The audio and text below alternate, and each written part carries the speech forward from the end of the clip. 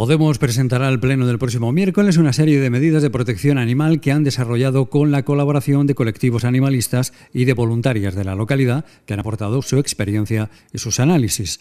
En otro orden de cosas, también han expuesto una serie de quejas que creen que hay que solucionar y han denunciado la actitud de Izquierda Unida y Ganemos durante la aprobación de los presupuestos. Por ello ha criticado la partida de 5.000 euros a la Escuela de Tauromaquia y más de 70.000 al Museo Taurino. Guerrero ha explicado que para sus propuestas se han basado, según ha dicho, en la Declaración de Ciudad Amiga de los Animales, a la Declaración de Emergencia Climática y a la Ley de Protección Animal de Andalucía. Así han preparado para su presentación al Pleno 22 medidas que consideran un primer paso para restablecer la dignidad animal en Chiclana. Uno de los puntos que pensamos que son importantes, que nos han hecho reflexionar al respecto, es que se plantea que, en el futuro, en el medio plazo, haya una nueva pues perrera mancomunal que pensamos que es una mejora en, las condiciones que, estaba la actual. Pero sí que es verdad que, creemos que los animales pues no piensan en, el futuro.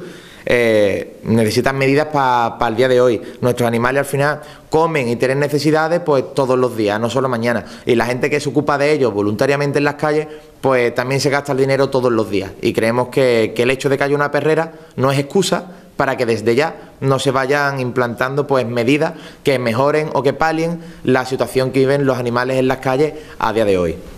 Por último, Guerrero ha explicado que es fundamental que el delegado de Medio Ambiente y el alcalde acepten iniciar la elaboración de una ordenanza de protección y bienestar animal conforme a la Ley de Procedimiento Administrativo Común de 2015, así como a la creación de un Consejo Local de Bienestar Animal o bien una mesa de trabajo de bienestar animal ligada al Consejo Local de Medio Ambiente, según ha afirmado.